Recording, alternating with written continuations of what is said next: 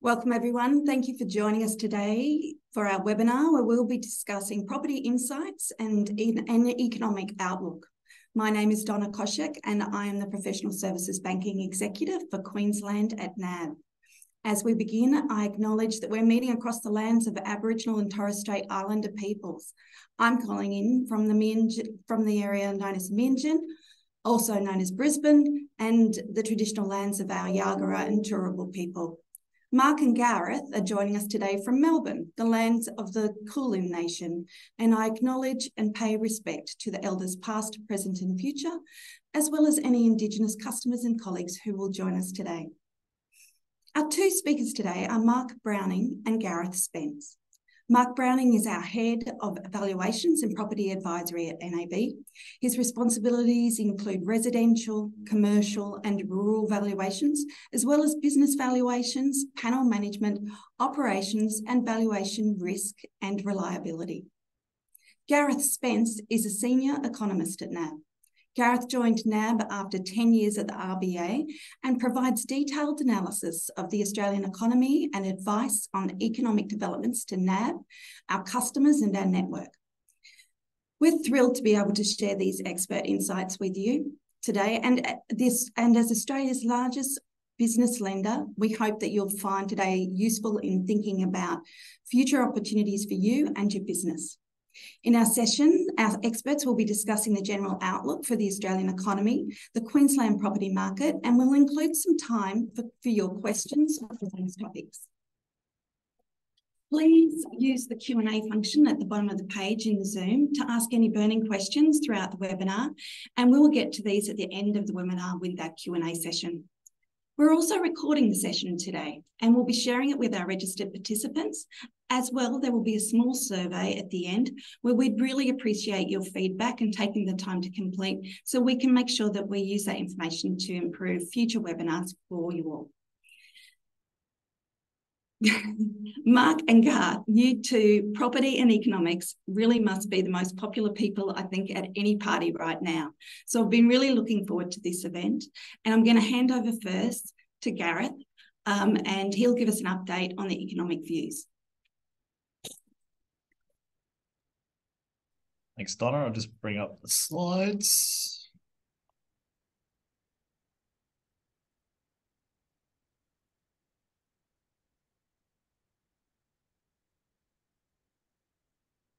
Okay, great. Thank you for having me along today. Um, I guess in the time we have available, I'd like to kind of give you a very high level overview of um, some of the big dynamics and forces playing out in the economy uh, globally and locally at the moment, uh, and tie that a little bit into the impacts and the feedback loops back from the property market into to the economy before I hand over to Mark to take you through some more detailed uh, analysis of, of the property market itself in Queensland. So I guess just starting uh, at the global level, we're a small open economy in Australia, and obviously the global backdrop uh, remains quite important. Nobody needs to be reminded of that after the last couple of years.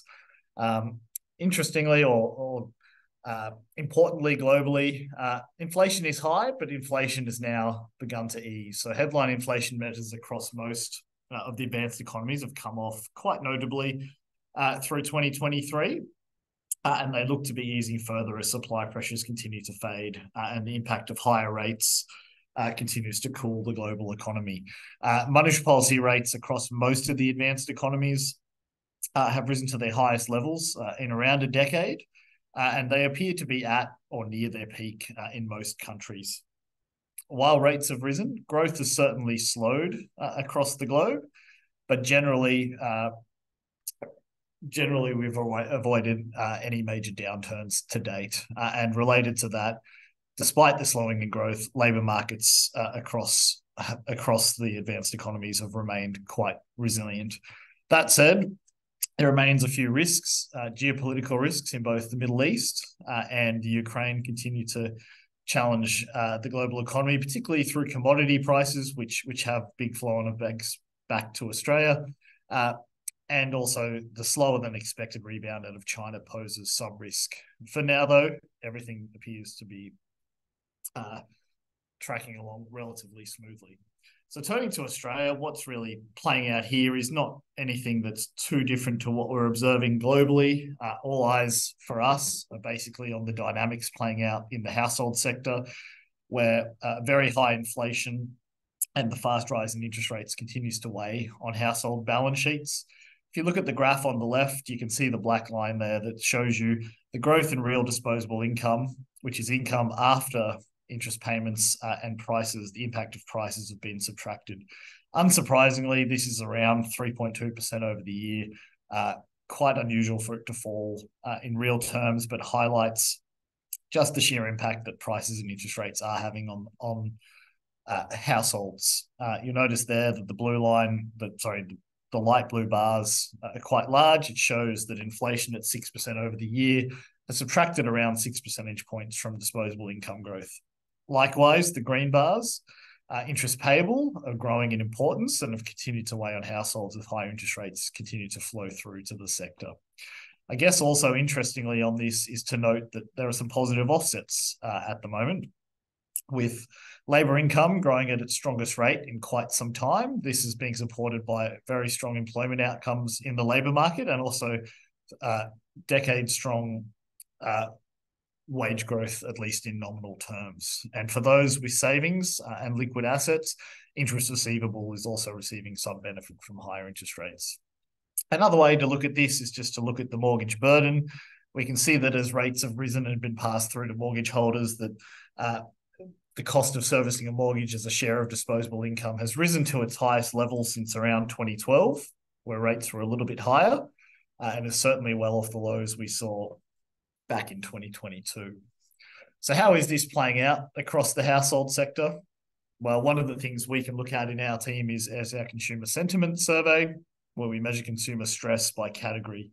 Uh, maybe not so surprisingly, but a stark reminder of the costs of higher inflation and maybe a bit of the unevenness of rate rises is is just where the stress is borne out as these pressures weigh on households. So to date, we can see that basically the lower end of the income distribution, larger households with higher cost structures, the unemployed, uh, and renters have borne or reported the highest levels of stress. That said, the impacts of high rates and inflation are flowing through generally, and most categories have risen over the past year or so. Likewise, in aggregate, the Melbourne Institute Consumer Sentiment Survey remains quite weak, hovering around GFC levels for its longest longest period on record, uh, and has kind of, despite the tick up in the last month, remained quite weak. Um, so certainly an adjustment happening at the individual level.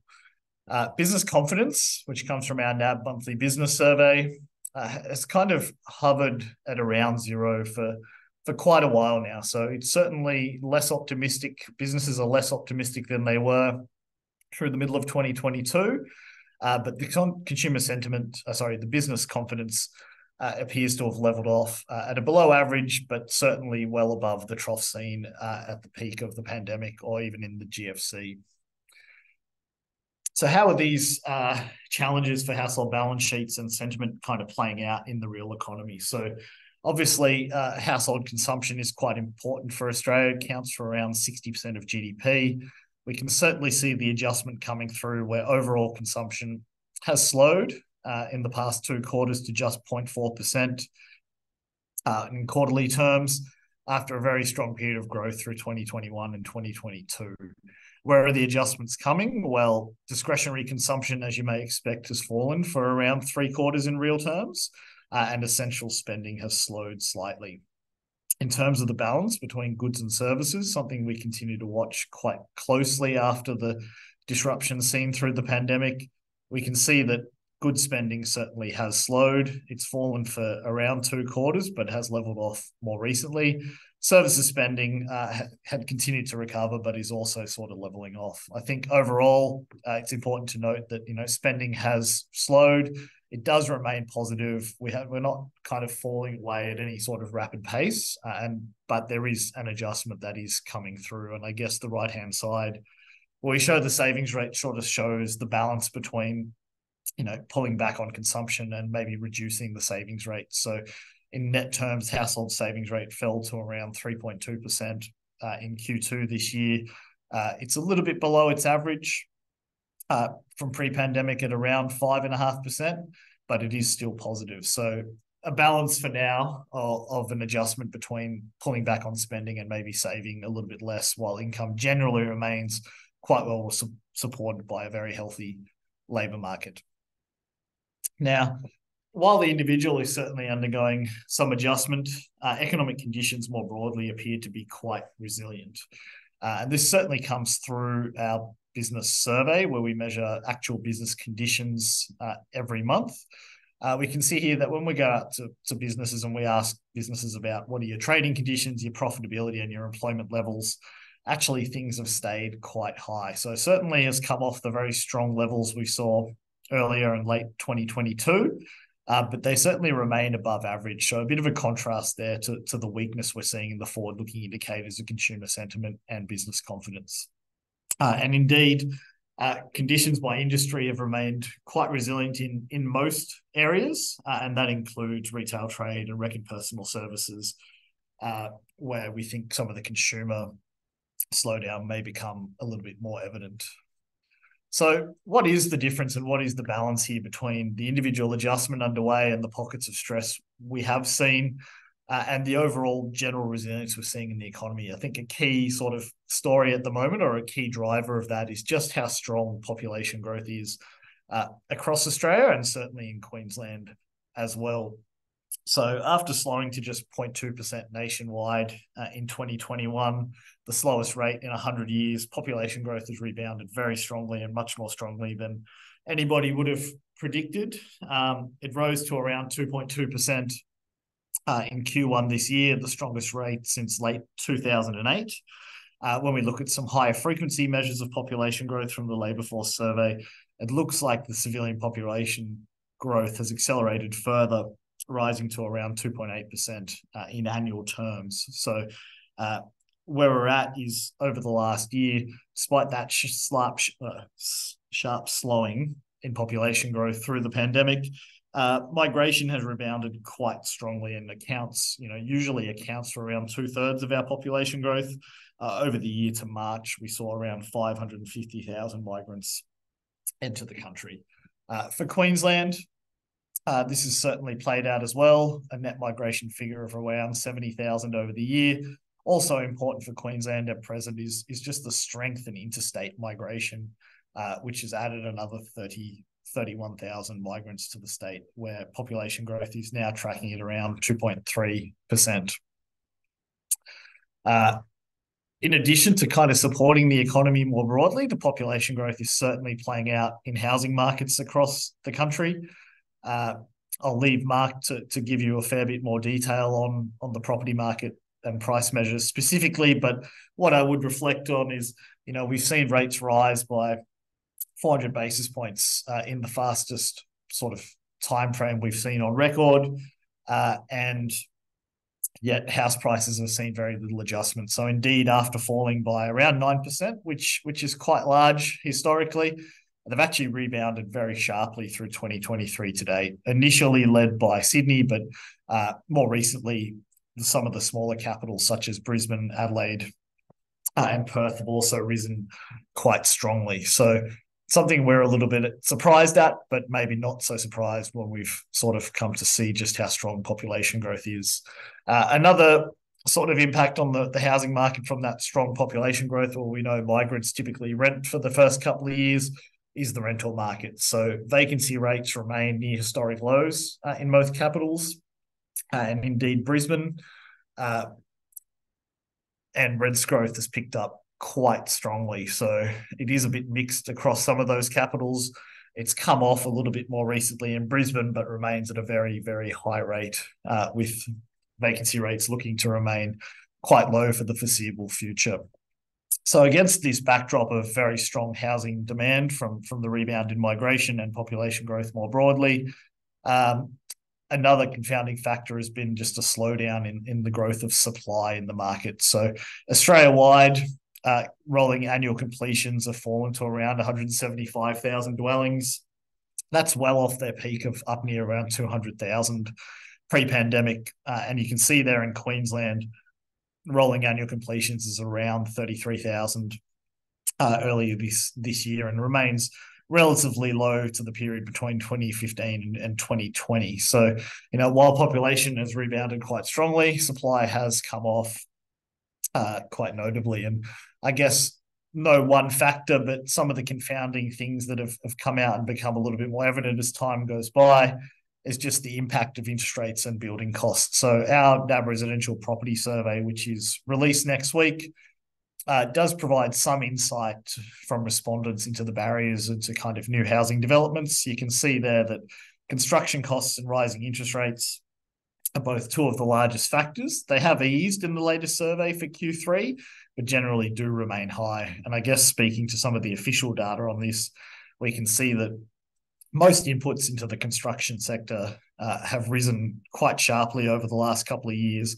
The good news is inflation has eased in most of these products, uh, but they haven't really corrected or fallen back to the, their pre-pandemic prices. Um, there has been some adjustment in, in areas such as steel and timber, for example, but generally they do remain high. So something that has certainly flowed through alongside the uncertainty for interest rates for for, for the construction sector. So, somewhat offsetting uh, that weakness in construction has been the very high pipeline of work. So, built up on prior approvals and the support from the government through the peak of the pandemic. Uh, we now have a pipeline of around 273,000 uh, dwellings under construction or about to be commenced. Uh, for Queensland, that number is also quite high at around 45,000. Um, so as uh, you know, construction delays, supply shortages, labour constraints have weighed on on the completions. Uh, the pipeline has sort of held up and, and will probably, we think, provide quite a bit of support in the near term for the actual level of activity in, in the housing sector. Um, however, building approvals, which is the new flow into that pipeline, have certainly come off and they're tracking at around their lowest level since since 2012. So as we work through that pipeline, there is a bit of a looming challenge where you know we'll we'll see those 270,000 dwellings come online, uh, but you know eventually at at current rates of approvals, completions will track down towards around 150,000 per year, which leaves a bit of a gap uh, to that very strong rate of population growth. So what's the net wash up uh, kind of of all of that? Well, one of the other things that's been coming through our consumer surveys uh, and is you know grabbing a few headlines is, is just the sheer deterioration in housing affordability. So uh, Australia wide and in Queensland, you know the sharp increase in rates. Um, combined with the fact that house prices have remained high or even increased further, seen affordability decline to its lowest rate uh, in around 20 years. Uh, you can see here that Queensland's actually doing a little bit better at a higher level uh, for now than Australia in an affordability sense, but is is a likely challenge going forward. Uh, I guess relatedly and maybe a little bit more positively is, uh, you know, inflation does appear to have peaked in Australia. Um, you know, we've eased from around a peak of seven to eight percent, depending on which measure we look at, to something closer to around five, five and a half percent at present.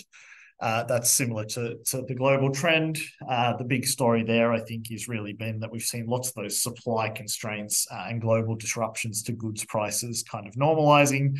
And you can see that in these charts with the tradables. So this generally includes purchases from goods that we import, has come off quite sharply, and we expect that to kind of continue to to normalize and, and disinflate, and possibly even for some goods prices to fall uh, the challenge for us as economists and for policymakers is just what happens to the domestic side of inflation. So these are the non-tradables, things like you know food and takeaway services, things uh, that are locally based. We don't trade, and they typically have a lot a larger labor component in their price. Uh, and that's kind of captured by the services on the right hand side. We can see there that it certainly still remains high. Things like rents, uh, the pressure still remains quite strong. And so, as those global factors fade, just how strong the services and the tradables, non tradable side is will become increasingly important for where inflation overall settles uh, in Australia.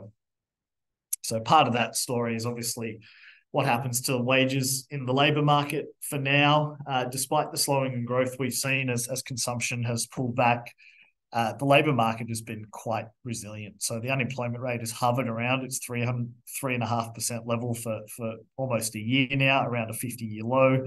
It's ticked up a little bit more recently, uh, largely driven by just the sheer strength in population growth. So labour demand, uh, as sort of indicated by job vacancies, while they've eased, generally remain uh, very high uh, and kind of point to near-term strength in, in labour demand going forward, despite the growth that we've sorry the slowing in growth we've seen for GDP. So I guess the the risk coming out of this, or what we're all watching, really is is what happens to wage growth, and does a stronger or higher rate of wage growth become embedded in the economy and then flow back through that services inflation? So for now, uh, it looks okay. So nominal wage growth certainly risen to its strongest rate since 2012, but at 3.6 percent doesn't appear excessive. So something we continue to watch as the labour market remains quite tight uh, what does that mean for policy?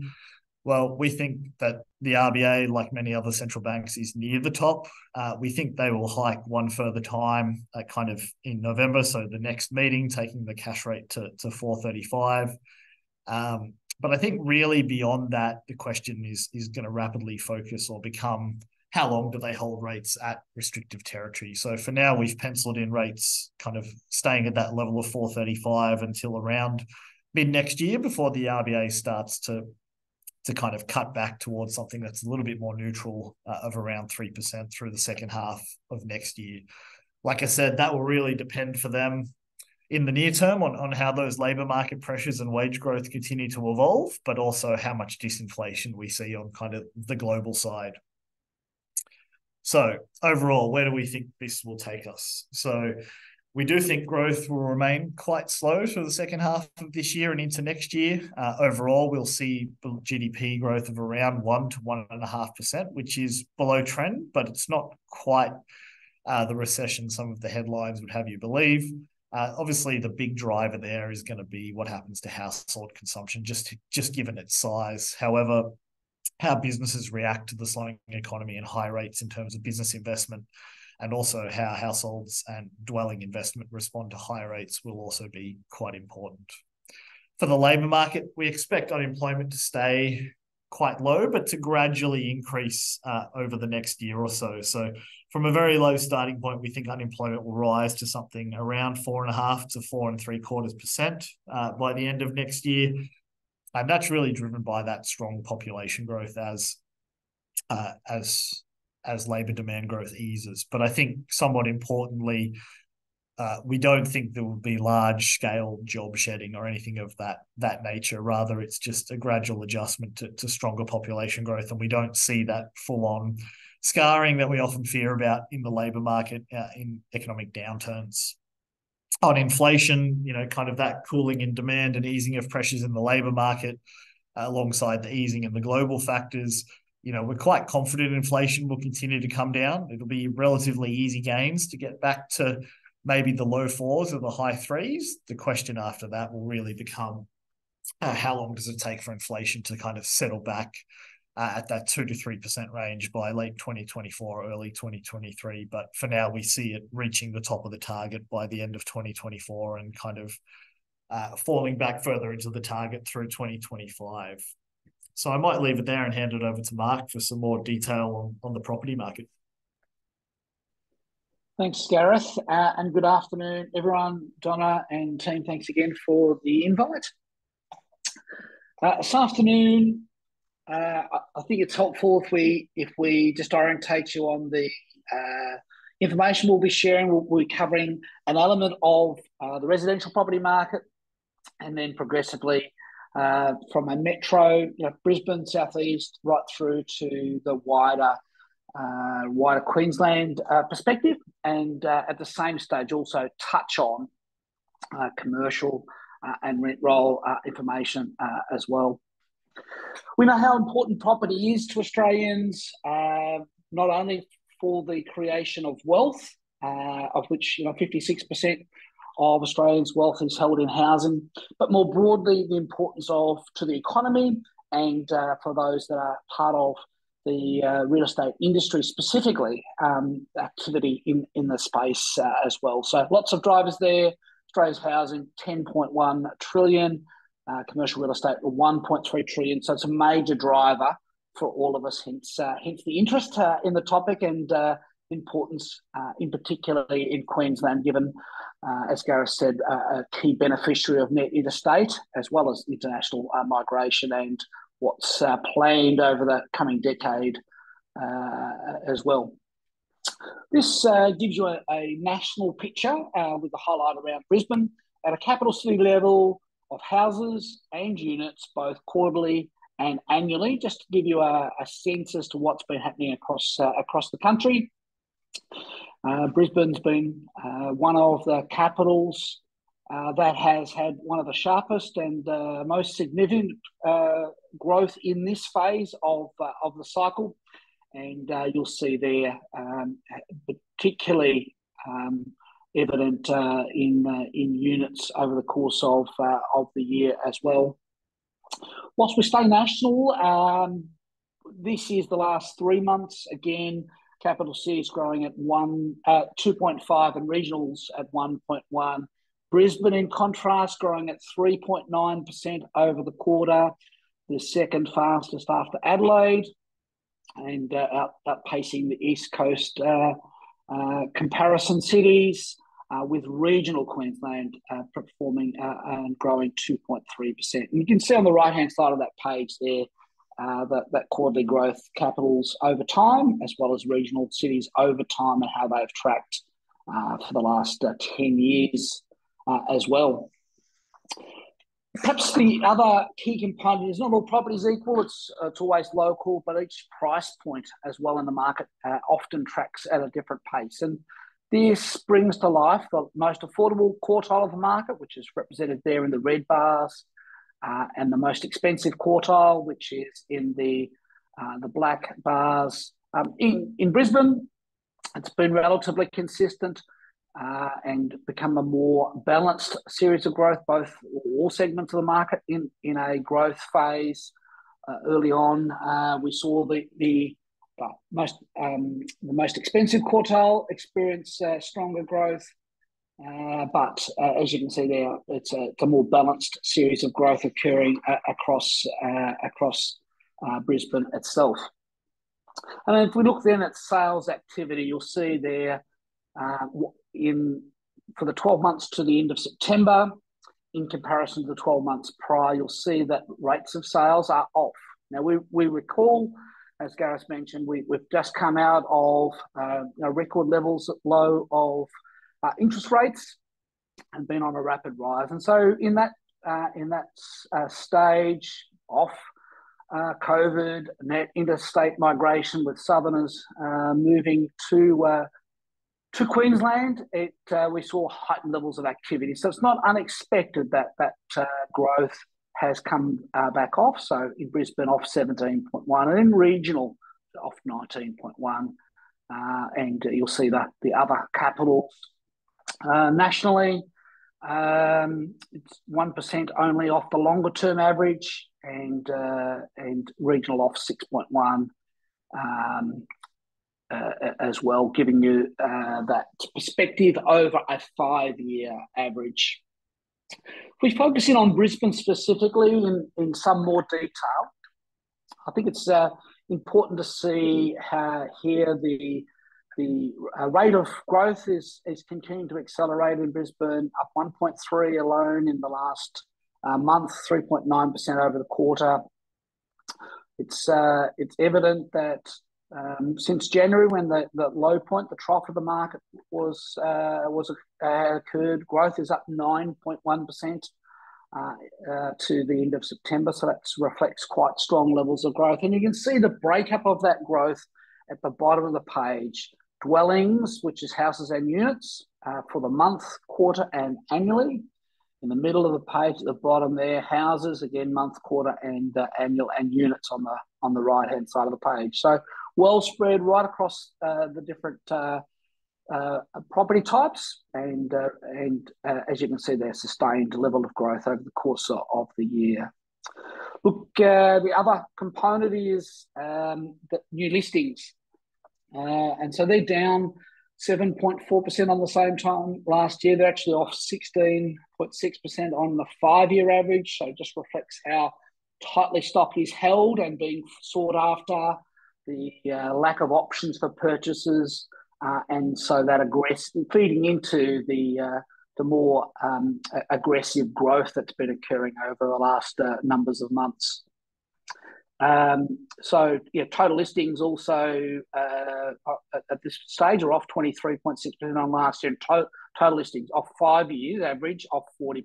So you're really building into that um, lack of new listings, lack of total listings, lack of options for purchases, as well as increased demand, uh, adding to uh, adding to pressures uh, in in the market. And that's evident as well in days on market reducing, and vendor discounting reducing on the same period last year. And as uh, Gareth was also mentioning, uh, uh, rents have um, have become one of the tension points. lack of options record low levels of vacancy rates, uh, and strong uh, strong growth in uh, in rents occurring uh, in Brisbane. Houses 6.4 units, 14, but actually more widespread right across uh, Queensland specifically uh, as well.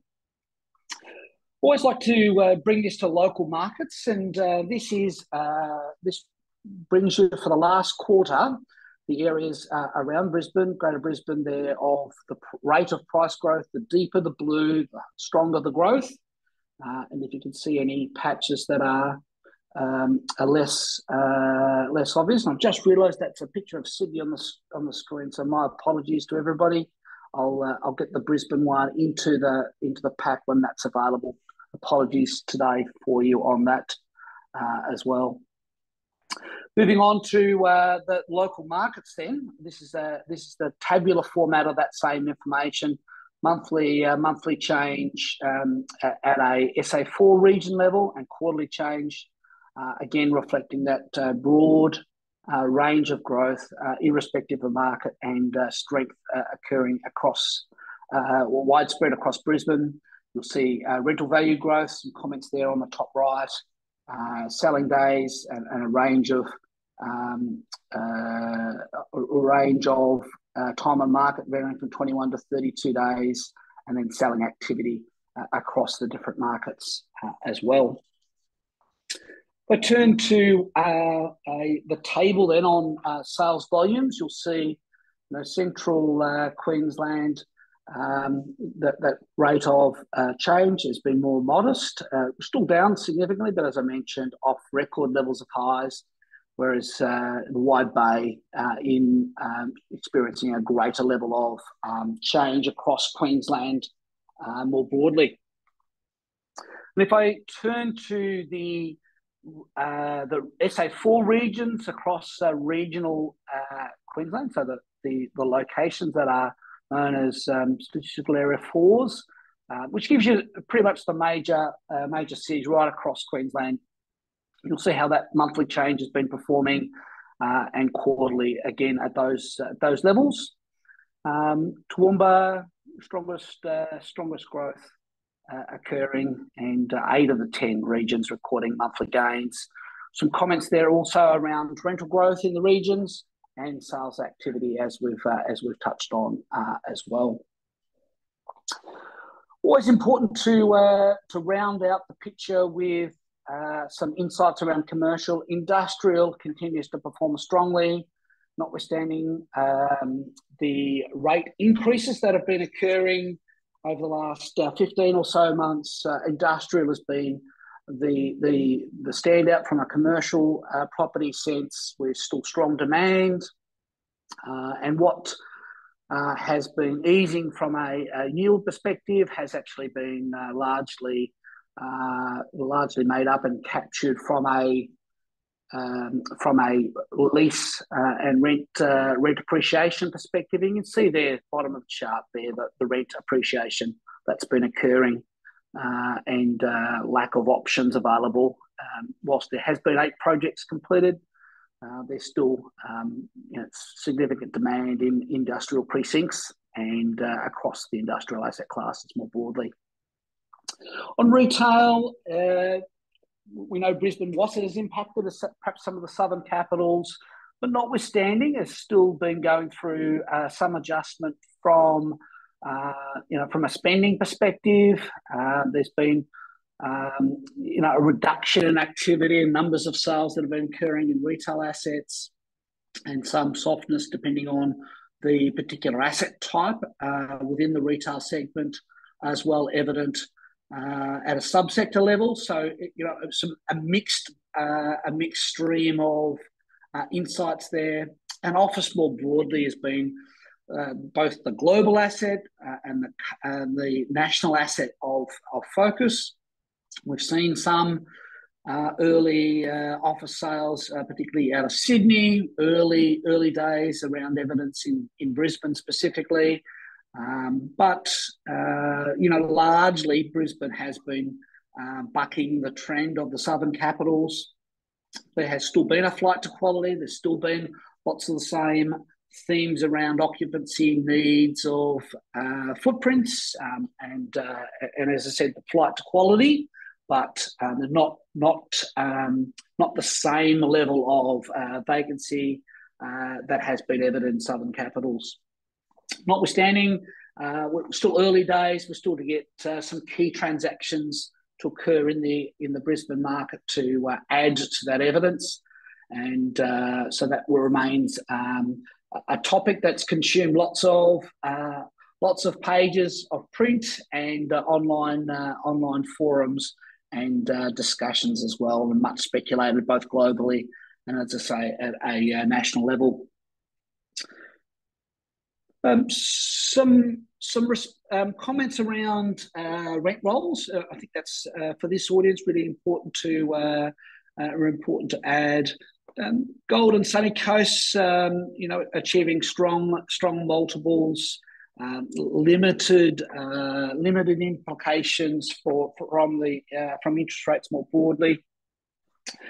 increasing rates and low vacancy rates are obviously um, you know, adding to confidence, notwithstanding there is some evidence of some investors taking the opportunity to sell properties as well, which is impacts on the other side of uh, uh, on the other side of rent rolls and uh, and overall properties um, portfolios more broadly. So again, just uh, to give you some uh, some insights there, as is typical, you know, just some uh, areas of watch and particularly for rent rolls that are predominantly reliant on single industry uh, more broadly. So that's uh, you know it's a, an ongoing theme, um, just to make sure there's diversity across the portfolio as well.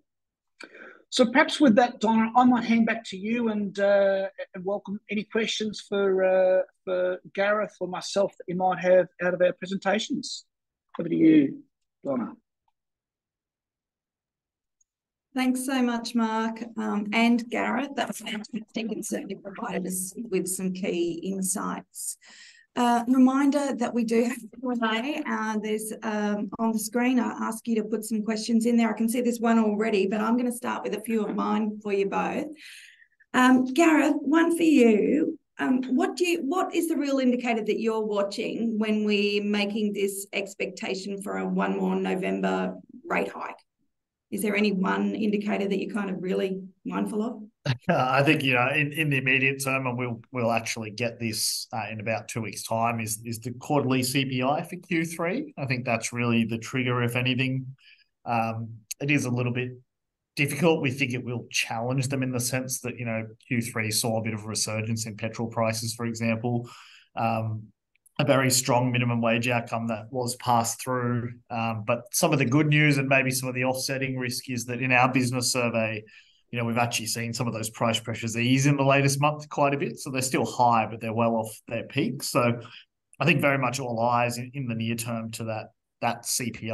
I think really what we need to see is, you know, we have got an easing trend uh, kind of in the rate of inflation. It's just, you know, are there any sign that services is increasing more strongly or has become, you know, this sort of sticky kind of inflation that we've seen a little bit overseas? Um, but really, I think it's it's a bit more broader than that, and the RBA probably be looking uh, forward as well in terms of where they see growth going and, and how the labour market plays out over the next year as well. Thanks. And, and what you mentioned oil. So there's been that resurgence in the oil price. Where do you see that going? Yeah, um, it's come off a little bit, but it's still high. It's one of those COVID factors where you know it's not so it's not a COVID factor anymore, but it's it's it's like the COVID surprises where shocks just keep happening that we don't foresee and kind of rebound and pushes the price back up. So I think you know certainly households are seeing that in, in fuel costs. Um, the real risk is that that becomes broader, so that you know the fuel costs feed through to freight costs, and you know we see second rounds. We haven't seen too much evidence of that yet. We think as global demand cools, you know, oil prices should ease a little bit. Um, we've seen some elements of that, but yeah, you know, the risk is at the moment as well the kind of supply constraints out of the Middle East are kind of you know the mm. upside risk. So it's one to watch. I think more broadly, uh, we can be optimistic that some of the other global prices and commodity prices have eased, and so that should offset some of that impact.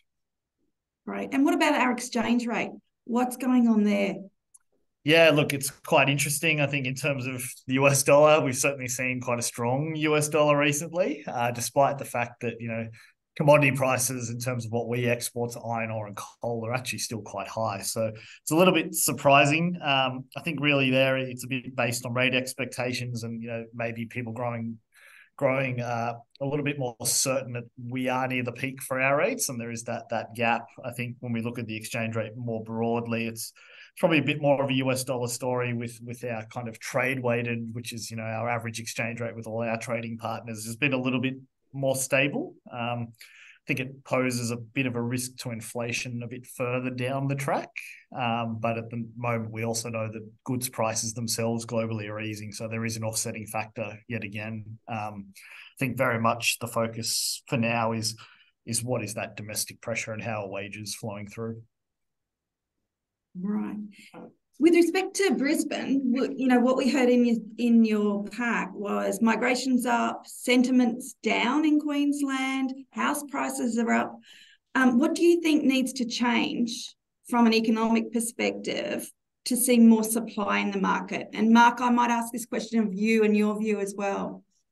Yeah, I think it's it's a good one, Mark. We'll have some insights too. I think you know it's difficult uh, in the short term to see how you know supply increases. We need kind of a big response and i guess the hope is a little bit that you know we know that demand is strong. We know hopefully people become you know a little bit more comfortable moving on with these projects now that there's a bit more certainty on the global environment on costs on rates. Um, but I think you know we also see kind of not just the materials. So the material side is easing a little bit, but the labor side of construction is still quite constrained. So in a way, population growth both helps that, but it adds to demand for housing as well. So what is the net the net balance there? But I think yeah, ultimately, as things sort of normalize a bit more, we will see that pick up in construction. It's just that it might take a little bit longer than some of us might hope. Thanks. And Mark, what are your thoughts on that one? Yeah, look, it's um, it, it's it, it's uh, a, a, challenging one currently. As Gareth said, you know, approvals um, not where they need to be options to get labour is um, really constrained, you know, then becomes well, even if you could get them, where do you where do they live? So you've yes. got nearly this vicious cycle of um, don't have but can't get, and so you know construction sector. Uh, and adding to all the infrastructure that's underway in Brisbane itself and in some of the regions as well, Donna, that's a very challenging problem to, to solve nothing that uh, there's no magic wand. I don't believe there's not no no quick solution to it, um, and lots of both national as well as state and local government shared initiatives around supply uh, and uh, you know the ongoing um, uh, ongoing aspects as Gareth's mentioned are all going to be required to be able to nudge that one uh, uh, forward into a more sustainable sustainable um, rhythm. Yes, I completely agree. Um, it's a challenge. Mark, um, potentially um, controversial. Do you see uh, a future or a bigger future for multi-tenanted properties?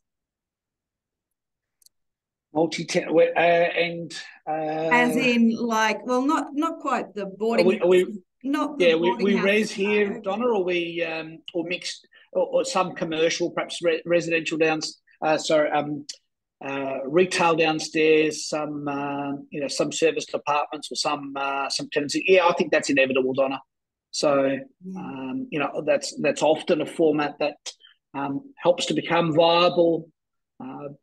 Uh, uh, to, to get some feasibilities to stack to, to get an anchor tenant like that to, to make that that work. But again, these are long lead times, Donna. These are not going to be built in three months or six months. These, uh, you know, to secure the site, get a feasibility to stack up, get trades, as we've just been saying. Um, you know, you still you don't get much change out of three three plus years probably.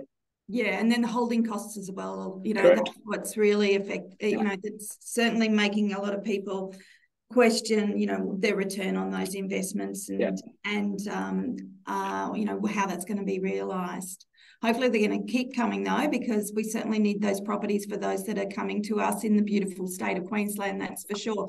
A couple of questions for you from our um, our community here.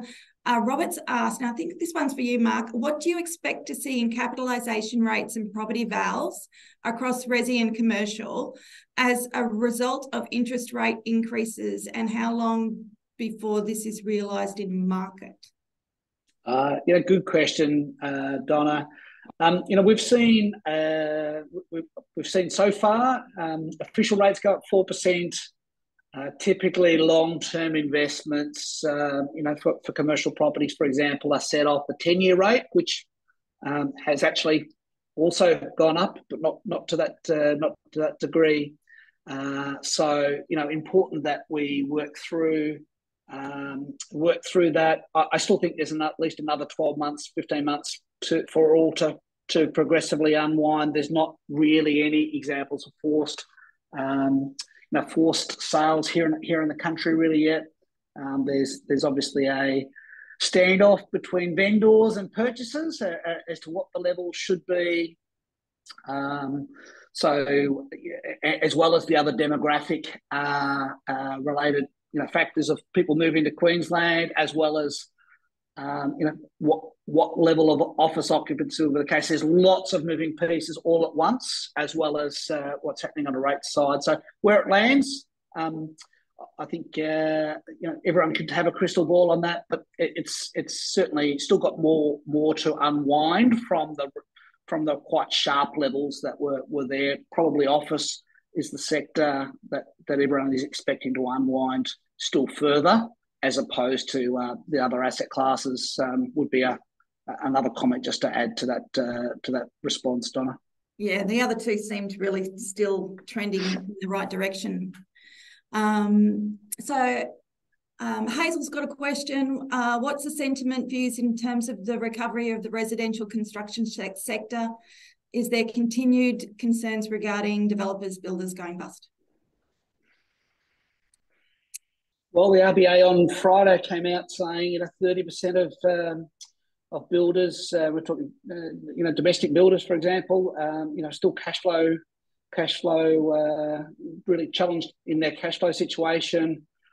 Uh, I fear we're not at the end of that yet, Donna. To be to be real, um, I would I would love that not to be true, of course, but um, there, there's still um, you know still a big um, you know, a big pipeline to get through. And uh, whilst perhaps, as, as Gareth said, some of the the, um, the, the key construction materials have settled in their prices, that the pressures in trades to to actually get trades.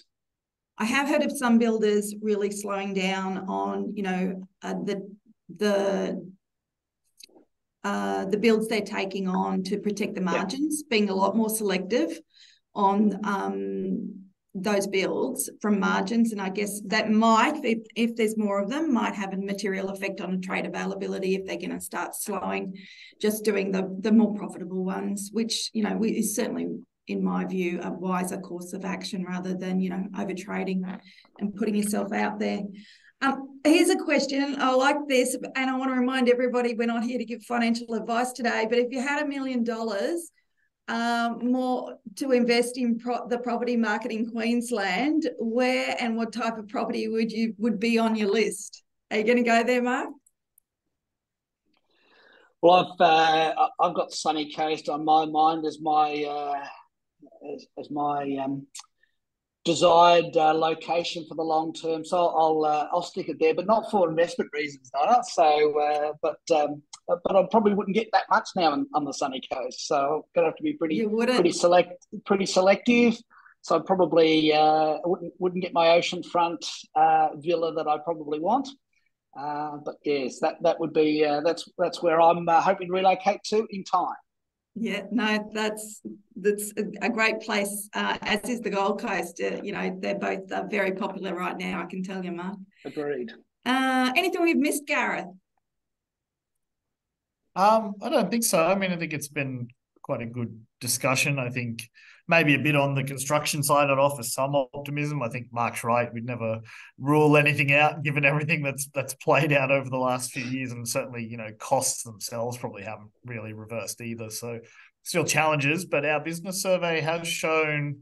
You know, generally conditions have eased for most industries, but construction's actually ticked up a little bit recently, and part of that has been profitability. So maybe, maybe some cautious optimism there on a bit of an adjustment in terms of how they do pricing of the contracts, you know, and maybe a bit of coordination, like you say, kind of slowing down projects. There's obviously big spillovers from from the big infrastructure spend as well in kind of a few of the states. But other than that, you know, it's sort of sort of hopefully we don't come across as too negative in these things in an economic sense. I mean, there's a lot of reason to be optimistic, right? I think, you know, rates kind of are at or near their peak, hopefully.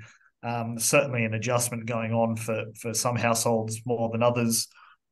Um, but ultimately, you know, historically rates aren't as high as they've been, and also, you know, the labour market is quite strong, right? So hopefully, the thing is we avoid a major downturn.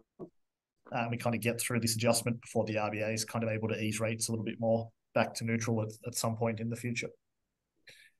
I'm going to ask one more question. Do you think there'll ever be a move considering uh, on stamp duties um, considering, uh, you know, I think I feel there's a lot of baby boomers and that who are still sitting in their house because of just because of that that exchange cost with respect to stamp duties. Yeah, I think it's a. I mean, it's a huge issue, right? Like some of the the challenges we talk about. It's not just the housing market, I guess. It's it's things like the labor market and productivity. You know, quite a bit of focus and you know restricting labor mobility between the states or or at all is kind of you know is an issue. Um, you know we've maybe encouragingly we've seen a bit of appetite for that in some places. It's obviously quite hard to do uh, wholesale and more broadly but i think you know tax more broadly but including the stamp duty will be hopefully one of the important sort of reforms that we do see over time. But kind of like mark said about construction it's it's not a three month or a six month thing. It's probably going to take a little bit longer than that yeah, no, that's great. Oh, I think one more question came up. Um, and then we, this might be our last question though. Let me just have a quick look. Uh, any regulation reform changes that we need to be aware of? I'm not sure. Anything for you, Mark? Anything, Gareth? I suspect that's you, Mark. Yeah, that's uh, that's fine. I, I, guess the one the, the ones to keep aware of, um, you know, given different overseas jurisdictions and even different states here in Australia have dabbled with it, council level as well, is um, you know Airbnb um, uh, taxes and the like. Uh, you know, depending on how um, uh, both both the the council of, of governments as well as you know state governments want to react. Um, you know, and uh, and try and stimulate availability. You, we, we should just keep aware of those types of levers that might be played. There's nothing um, uh, apart from the the, the short term flirt last year, Donna, that's uh, that's happened to to talk about. But I think we should just remain um, open and, and aware of those types of um, uh, things that can can occur, and, and that, that shouldn't panic us. That just it's just a means to be aware of and plan for different contingencies as part of of working through a normal business uh, cycle or investment investment approaches. Yeah, yeah, that's right. I think uh, Hobart we're talking about, or if not, yeah. enacted something to that effect, and it it could materially change the affordability rate, uh, affordability um, capacity for some of our customers. That's for sure. Um, okay, well, uh, to be honest, thank you so much, gentlemen. Um, it's been fascinating, uh, and we really appreciate you uh, joining us today, and we appreciate everyone else who's taken the time uh, to join us uh, on this webinar. Remember, there will be a survey at the end. We'd really appreciate your take, participating in that. If you get a copy of the webinar, we're happy for you to share it amongst your friends, network, uh, and colleagues. Um, and we hope to welcome you back again to our next webinar uh, on the topics and hope you have a great day. Thank you. Thank you.